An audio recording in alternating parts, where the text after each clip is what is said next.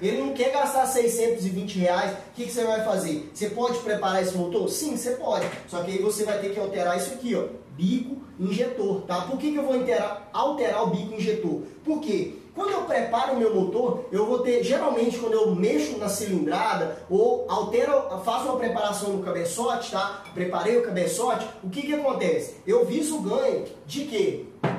Eu viso ganho de eficiência volumétrica. Então, quando eu tenho mais eficiência volumétrica, eu vou conseguir injetar o quê? Mais ar combustível dentro do meu motor. E essa injeção original aqui, esse módulo original, ele vai mandar informação para o meu injetor, mas é pouca. Eu preciso de mais agora. Então, o que, que você vai fazer? Você vai trocar o bico. Por quê? Se ele manda uma informação elétrica, tá? Ele não manda uma informação, você tem que injetar 20 ml. Ele não manda isso. Ele manda um pulso. Um exemplo, um pulso para ficar o bico aberto um segundo. 2 segundos, 1 um milissegundos, 2 milissegundos. Então seria basicamente isso aqui, ó. A sua, a, o seu módulo, tá? Ele não manda o quanto o bico injetor tem que injetar. Não é ele manda assim, ó, tem que injetar 20 ml, tem que injetar 30 ml. Não, ele não faz isso. O seu módulo, tá? Ou seja, o cérebro, ele vai, injetar, ele vai mandar uma informação assim, ó. Olha, o bico tem que ficar aberto por 1 um segundo, 2 segundos, um exemplo, 3 segundos, 3 milissegundos, 4 milissegundos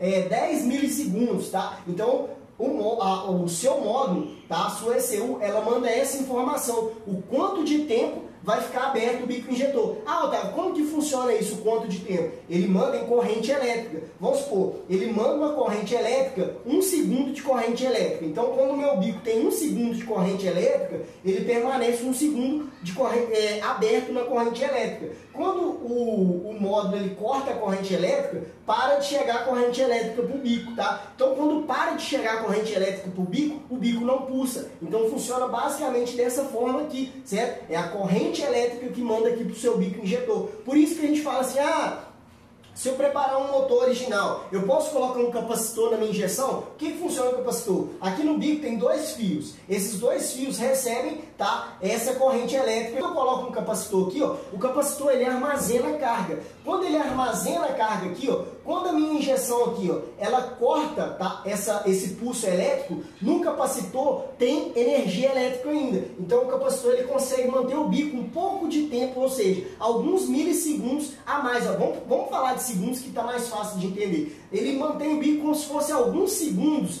é, a mais aberto, tá? Então, por exemplo, dependendo da preparação, eu posso talvez colocar um capacitor, tá? Eu posso colocar um capacitor no meu motor, vai permanecer aberto. Só que o capacitor é um pouco falho, por quê? Porque quando eu tenho um capacitor, o que, que acontece nesse caso? O capacitor, ele armazena carga. Então, ele armazena carga em todas as rotações. Ele não armazena carga aqui, ó. Ah, a minha mão precisou de um pouco agora, é, depois ela precisou aqui nesse ponto aqui que está dando falha. Ela precisa de mais, então vai armazenar para esse ponto. Não, o capacitor continua é, armazenando cargas em todas as rotações. E a injeção eletrônica tem hora que ela vai injetar menos combustível. Por isso que ela é mais econômica, porque ela identifica, tá? Os sensores identificam que determinada rotação você não precisa de tanto combustível. Só que quando você coloca o capacitor, ele continua mandando combustível. Então o que, que acontece com isso? Se eu coloco o capacitor, eu tenho às vezes um excesso de combustível, um excesso que eu falo assim, um gasto a mais de combustível. Então vai fazer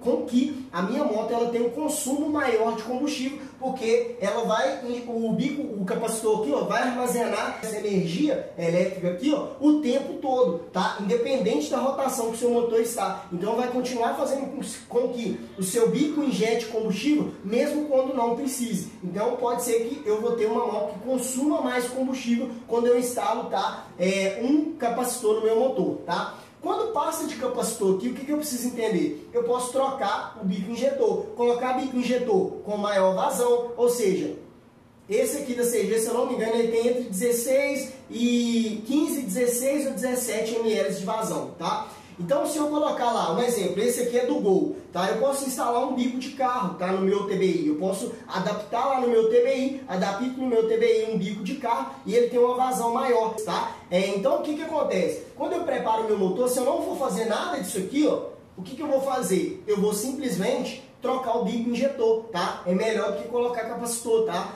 Troca o bico injetor, coloca um bico injetor com maior vazão, coloca um da CB300, um bico alta vazão, você pode colocar um bico de carro, tá? Muitas das vezes as pessoas pensam assim, ah, tá, bico de carro injeta mais combustível. Não, não é não, tá? Esse bico aqui, por exemplo, aqui, ó, esse bico é um bico a gasolina, tá, do Gol. Por incrível que pareça, esse bico aqui, ó, ele tem 18 ml de vazão, tá? 18 ml de vazão. Se eu pegar um bico da CB300, vamos supor que esse bico aqui é da CB300, colocar do lado aqui, ó, um bico flex da CB300, o bico flex da CB300 tem 25 ml de vazão. Então, esse bico tem mais vazão do que esse bico. Então, os bicos de carro precisam ser analisados. É claro que tem bico que injeta mais combustível, certo? Tem bico que tem mais vazão de combustível, mas tem bico de carro que tem menos vazão de combustível. Por quê? Os bicos de carro, eles são por cilindro. Então, tem, tem cilindro de carro que pede menos combustível. É como se fosse um, um cilindro de uma moto, tá? Então, você, aqui embaixo, baixa a tabela de vazão e você consegue analisar as vazões do bico, dos bicos injetores.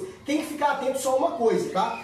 Quando você comprar os bicos injetores, o que, que você vai ficar atento, tá? Você tem que ficar atento aqui, ó, que, tá? Quando você for comprar um bico injetor de carro, analisa se o bico é flex, tá? Porque às vezes você tá pegando uma moto flex e colocar um bico só a gasolina, não vai dar certo. Se colocar álcool, a moto nem vai rodar, tá? Então você tem que comprar um bico flex. Se a moto é flex, coloca um bico flex. Se a moto é só gasolina, coloca um bico só gasolina. Os carros têm a mesma coisa, tem bico flex e bico a gasolina. Esse aqui, por exemplo, esse aqui é um bico só a gasolina. Eu poderia colocar ele numa moto flex que roda só na gasolina, taxada só na gasolina. Então eu posso colocar esse bico lá. Agora, se eu quero uma moto só no álcool, eu vou colocar um bico flex para mim é, ter maior vazão no bico. Beleza? Então seria basicamente assim que funciona, tá pessoal? Só que quando eu coloco o bico também, tá? Funciona da mesma forma aqui, ó. Por quê? Quando eu tenho um bico, um exemplo, o que, que vai acontecer? Esse bico aqui, ó, ele tem 18 ml de vazão. Esse aqui tem 16 ml de vazão, certo? O que, que vai acontecer nesse caso aqui, ó?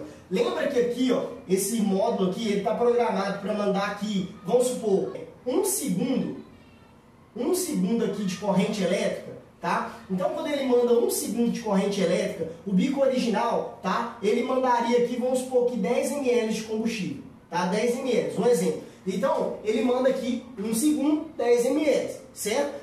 Aí, beleza, preparei o motor, essas 10 ml não dão conta, eu preciso, eu preciso de mais. Então, o que, que eu vou fazer? Eu vou lá e troquei o bico injetor, coloquei um bico com vazão maior. Só que quando eu coloco um bico de vazão maior, essa parte de um segundo aqui não muda. Só que quando a corrente elétrica de um segundo aqui, ela manda para cá, aqui vai começar a injetar 20 ml. Aí você fala assim, ah, Otávio, mas é bom então, porque aí não vai dar falta no motor. Sim, é bom. Só que o que, acontece? É bom quando o seu motor precisa. E quando ele não precisa dessas 20 ml? Vai acontecer o quê? Vai continuar injetando 20 ml, certo? Se aqui o seu bico tivesse essa corrente elétrica está passando é 2, 3 segundos, tá? Aqui injetaria mais, tá? Porque eu tenho um bico de maior vazão.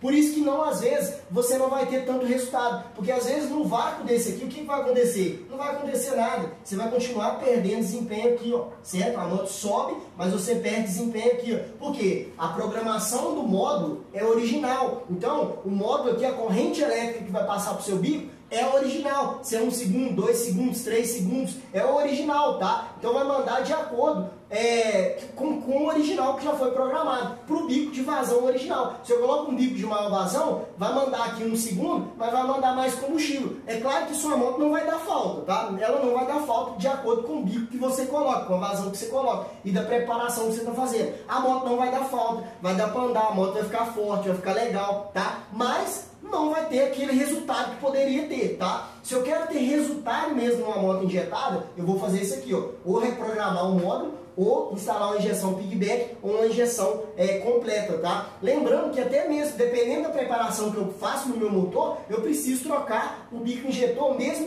reprogramando ou instalando uma injeção piggyback, tá? Por quê? Porque, dependendo do bico que eu coloco, por mais que eu faça a reprogramação aqui, ó, eu preciso que o bico tenha mais vazão, certo? Então vai depender muito da preparação que você está fazendo, tá? Vamos supor que você está fazendo uma preparação para 270 cilindradas, taxado aí no, no álcool, tá? Então o que, que acontece?